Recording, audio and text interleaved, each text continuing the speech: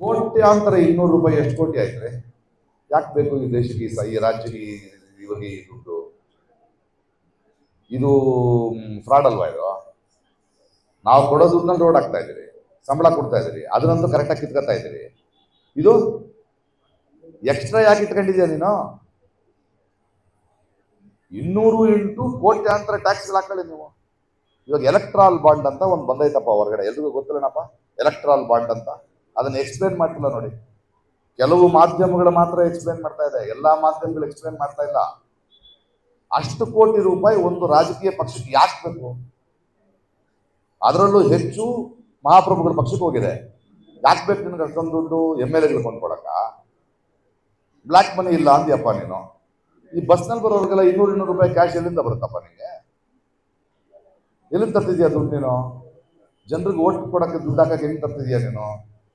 ಎಷ್ಟು ಜನ ಎಂ ಎಲ್ ಎಗಳನ್ನ, ಎಂ ಪಿಗಳು, ಅಂದ್ರೆ ನೋಡಿ ಕರೆಕ್ಟಾಗಿ ಅರ್ಥ ಮಾಡ್ಕೊಳ್ಳಿ ಮಹಾಪ್ರಭುಗಳ ಆಳ್ವಿಕೆ. ಯಾವ ಯಾವ ರಾಜ್ಯಗಳಲ್ಲಿ ಈ ಮಹಾಪ್ರಭುವಿನ ಪಕ್ಷದವ್ರು ಇಲ್ವೋ ಅಲ್ಲಿ ಮಾತ್ರ ಗವರ್ನರ್ ಯಾಕೆ ತುಂಬ ಪ್ರಾಬ್ಲಮ್ ಮಾಡ್ತಾನೆ? ಕೆಲಸ ಮಾಡೋಕ್ಕೆ ಬಿಡಲ್ಲ. ಮಹಾಪ್ರಭುಗಳು ಅಷ್ಟು ಚೆನ್ನಾಗಿ ರಾಜಕಾರಣ ಮಾಡ್ತಾರೆ. ರಾತ್ರಿ ಮೊನ್ನೆ ಯಾವುದೋ ಒಂದು ಎಲೆಕ್ಷನ್ ಸ್ಟಾರ್ಟ್ ಆಗಿಲ್ಲ. ಕಾಂಗ್ರೆಸ್ ಕ್ಯಾಂಡಿಡೇಟ್ನೇ ಕೊಂಡ್ಕೊಂಡು ಎಲ್ಲ ರಿಸೈನ್ ಮಾಡಿ ಯಾರೂ ಇಲ್ಲದೆ ಅವರೊಬ್ಬರೇ ಗೆದ್ಬಿಟ್ರು ಸೂರತ್ ಇವತ್ತು ಇಂದೋರ್ನಲ್ಲಿ ನಡೀತಾ ಇದೆ. ಇದು ರಾಜಕಾರಣನಾ? ಅಂದ್ರೆ ಹೀಗೆ ಹೋಗ್ತಾ ನಿಮ್ಗೆ ಓಟ್ ಹಾಕೋ ಹಕ್ಕು ಇರಲ್ಲ ಸ್ವಾಮಿ. ಓಟ್ ಹಾಕೋ ಹಕ್ಕು ಇರಲ್ಲ ನಿಮಗೆ. ಏನು ಬೇಕಾದ್ರೆ ಮಾಡ್ತೀನಿ ನಾನು.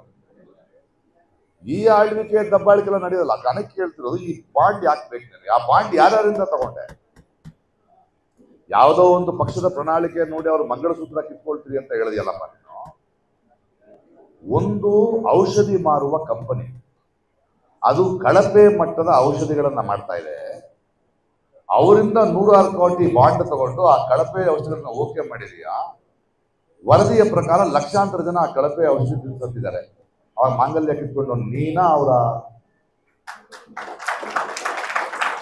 ನಲವತ್ತೆರಡು ಜನ ಒಂದು ಟನಲ್ನಲ್ಲಿ ಸಿಕ್ಕಾಕೊಂಡ್ರು. ಕಳಪೆ ಕಾಮಗಾರಿ. ಆ ಕಂಪನಿಯಿಂದ ಒಂದು ಸಾವಿರ ಕೋಟಿ ಬಾಂಡ್ ತಗೊಂಡ್ರು.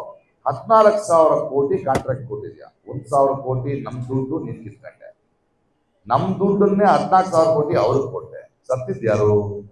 ಕಷ್ಟಪಟ್ಟಿದ್ ಯಾರು? ಮಾಂಗಲ್ಯ ಹೋಗಿದ್ ಯಾರು ಯಾರು